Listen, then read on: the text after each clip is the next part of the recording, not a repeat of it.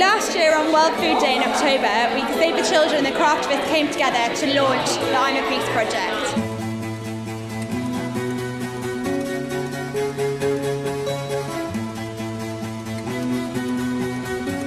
nice to take the time to sort of sit down and just do it.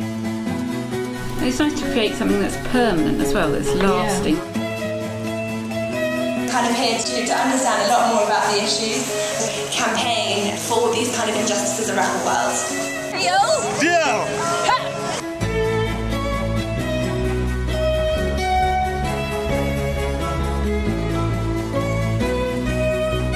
Get crafty, get sewing.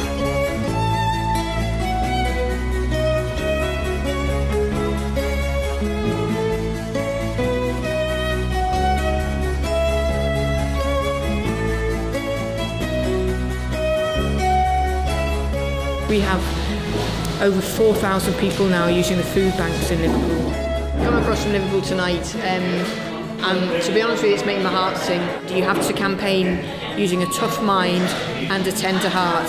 This year in 2013 really keep you know, killing people with kindness, saying, look how beautiful the world is and can be, and we can make it even better. Isn't it disgusting that children and adults are still hungry in the world? And we can solve it and we can fix it, and we know how to do it, and we have it all written in, you know, documents from different charities and different governments saying this is how we do it. We just need to do it. What all of this kind of showed is that we can kind of coming together, we really can do something about tackling hunger.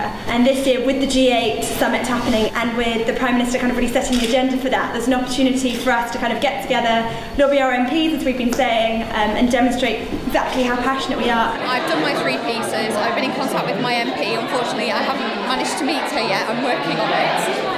Um, and my other one is sitting up in my office on the wall reminding me why I did it in the first place. When I heard about craftivism, I researched into it and I was just so inspired to try and do something for somebody else while also, you know, being creative and, and doing something in that way.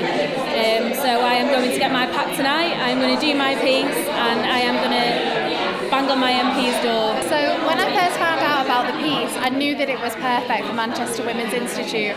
And um, uh, the process has been fantastic because as you sit down and you do these tiny stitches, you really do think about what message it is that you want to portray. Jigsaw pieces that have been stitched by people from all over the country, um, finally all coming together because obviously I've seen them on Instagram, I've seen them on Twitter, you know, and they've been on Facebook. Um, but to actually see them in the flesh live here, uh, it's really powerful. And you know the amount of people that have commented on individual pieces, but also on how it looks as a whole.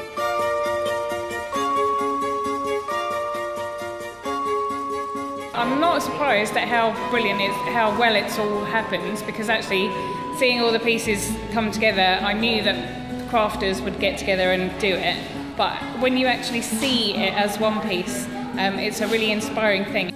I think the project, it, what's happening now is building up a momentum. And uh, people can see what they can do. They can see that they can sit in a, in a, in a group of people and they can talk about things very gently. And, they, and it's, it's this lovely slow, slow grow, slow campaigning actually the roots are very, very strong. People should realise that this is just the beginning. I've made one piece, I've given it to my MP, and it's opened up an opportunity for me to have further dialogues with him. When we put our voices together, we can make a, a, a really big noise um, and that has been an incredibly inspiring thing.